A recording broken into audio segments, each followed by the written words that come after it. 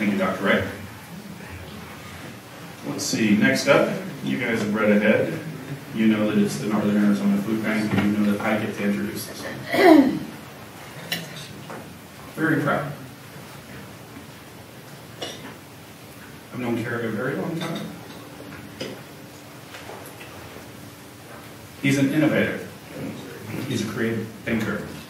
He builds collaborations and partnerships that you wouldn't expect to be built. You see on your sheet that he's representing the Northern Arizona Food Bank. A food bank. You guys know what food banks do, right? Come on, interactive. What do food banks do? What do they do? They do food. They give people food. Yeah, Kerry must not be satisfied with just doing what he's told. Because Kerry did far more than just give food. A real innovator and created programs that you wouldn't expect a food bank to be doing. Has any, um, for the food part, I mean, nobody really does it cooler that I've ever seen. Anybody seen the 16 foot Tommy turkey? Anybody see that up in Flagstaff? How, do, how much do kids love that? How much do kids love feeding the turkey? How cool is it to involve kids so young in that act of giving, in that act of being selfless? So, yeah, from a food bank perspective, he's done very, very well. In fact, according to my notes, uh, let's see, hunger relief, last 15 years alone, the Northern Arizona Food Bank has successfully distributed over $107 million in social economic aid.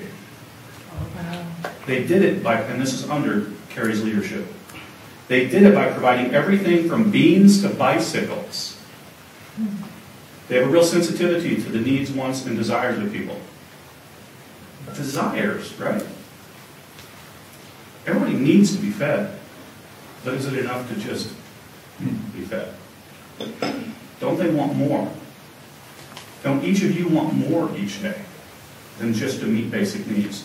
A lot of college grad college graduates in here, right? You all know Maslow's hierarchy of needs. You happy being at the bottom? Just getting by? Kerry made sure that's not where the people that he helped stayed.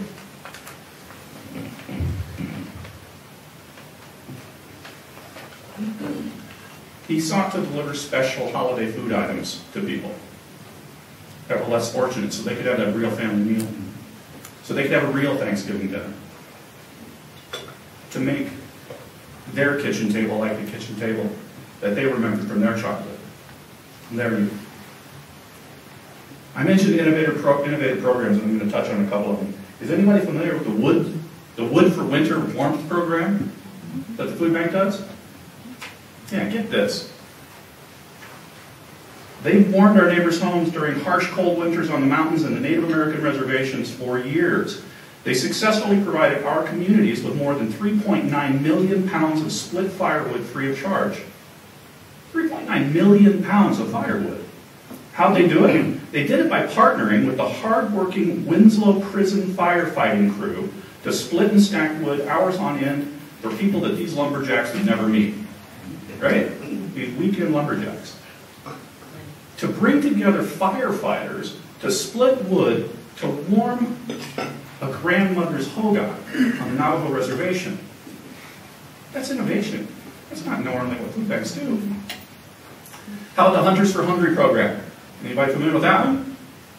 Hunters for Hungry. Wild game recovery program that successfully provided more than 174,000 meals of nutritious elk and venison to the less fortunate families in our community since 2001. This gave sport hunters a way to provide a charitable gift of vital protein to the often protein deficient diets of the hungry. When it comes to providing food assistance, Kerry, what's the toughest thing to get? Meat. Protein. And you figured out a way to do it.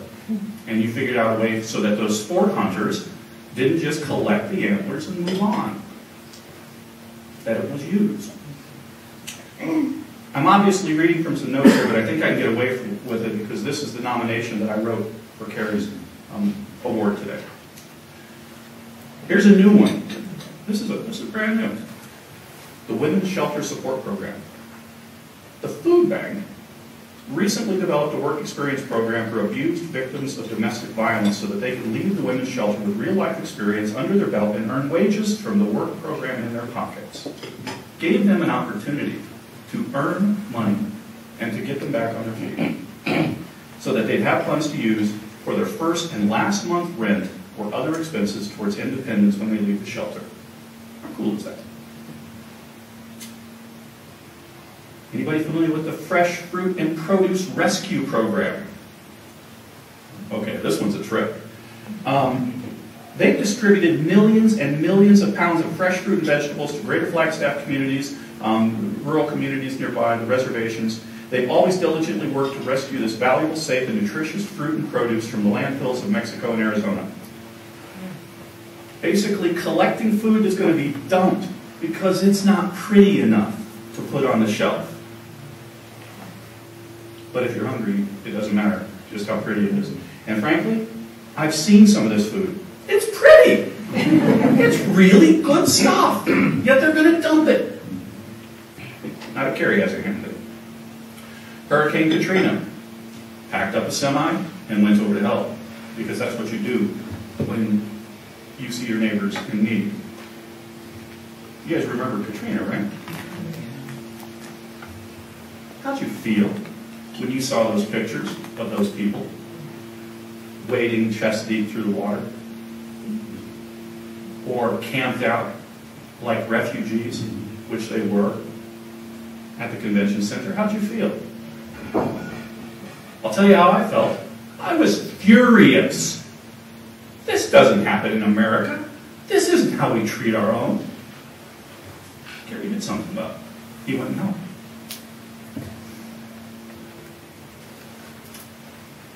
I've known Kerry as long as he has been at the food bank. My son is your cameraman today. And I took my son there in 1998, shortly after Kerry started working at the food bank, to uh, teach my son a little bit about philanthropy.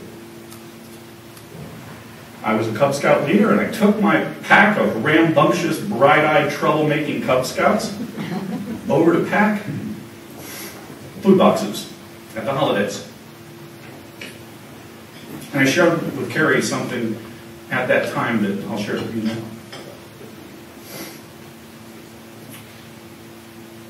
Every person in this room that does work to support nonprofits, you have no idea who you're helping. You have no idea who's going to walk through your doors next who they are at that time, who they have been, and who they might become.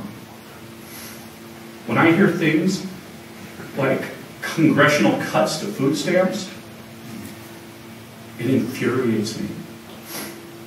Because I have family on food stamps. I lived on food stamps.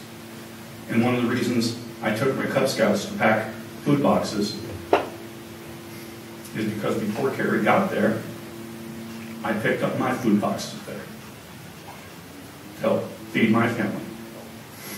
And it was devastating for me to do it. Devastating to have to share with you that you have a need. And I watched Kerry serve people since. And what it has been demonstrated to me is that every person who walks through that door is his peer. Every child that walks through he's related to. Every elder he honors. And that's what I hope we all do as we provide support for those in need in our communities. Because I walked through those doors. And Kerry's predecessor served just like he has since. I'd like to uh, welcome my friend and the representative of the Northern Arizona Food Bank as the outstanding nonprofit organization, Kerry Ketchum.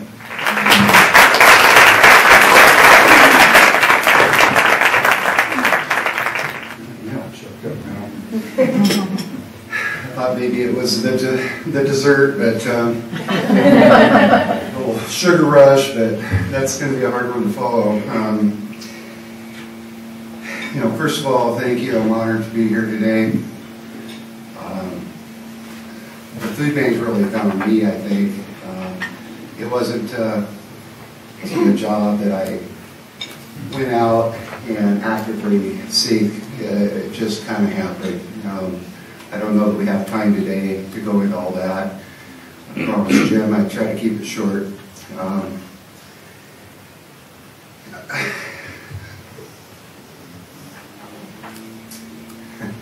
It's been an honor. One of the most challenging yet most rewarding opportunities of my life. The last 15 and a half years, um, God bless me, gave you the opportunity to be a servant. Um, and I think part of the reason I'm so passionate uh, about this this last 15 years was I was raised in a single family home. Um, I don't know how my mother did it, but she did it.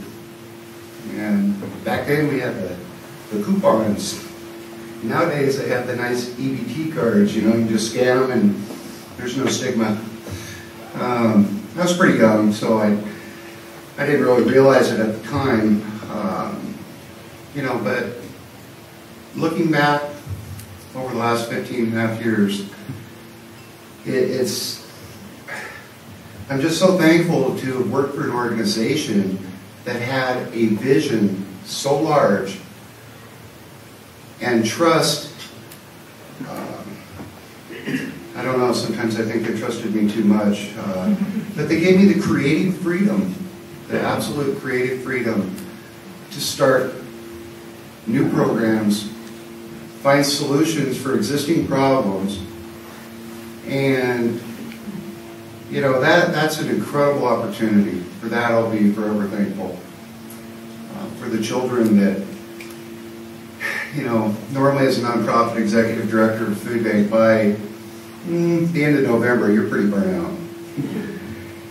My batteries were always, you know, kind of getting drained around uh, December.